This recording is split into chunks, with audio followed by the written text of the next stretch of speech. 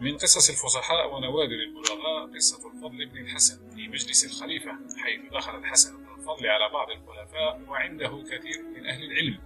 فأحب الحسن أن يتكلم فزجره وقال يا صبي تتكلم في هذا المقام. فقال يا أمير المؤمنين إن كنت صبيا فلست بأصغر من هدهد سليمان ولا أنت بأكبر من سليمان عليه السلام.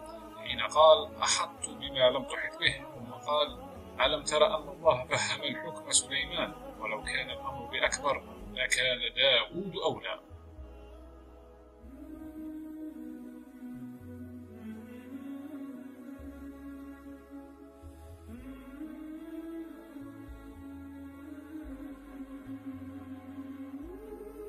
دخلت امرأة على هارون الرشيد وعنده جماعة من وجوه أصحابه فقالت يا أمير المؤمنين أقر الله عينك. وفرحك بما آتاك وأتم سعدك.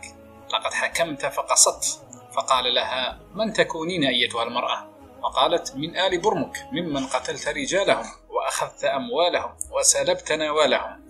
فقال أما الرجال فقد مضى فيهم أمر الله ونفذ فيهم قدره وأما المال فمردود إليك. ثم التفت إلى الحاضرين من أصحابه فقال أتدرون ما قالت هذه المرأة؟ فقالوا ما نراها قالت إلا خيرا. قال ما أظنكم فهمتم ذلك. أما قولها أقر الله عينك أي أسكنها عن الحركة وإذا سكنت العين عن الحركة عميت.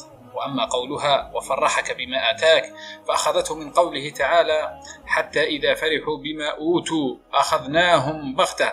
وأما قولها وأتم الله سعدك فأخذته من قول الشاعر إذا تم أمر بدا نقصه ترقب زوالا إذا قيل تم. وأما قولها لقد حكمت فقصدت فأخذته من قوله تعالى وأما القاسطون فكانوا لجهنم حطبا فتعجبوا من قولها ذلك.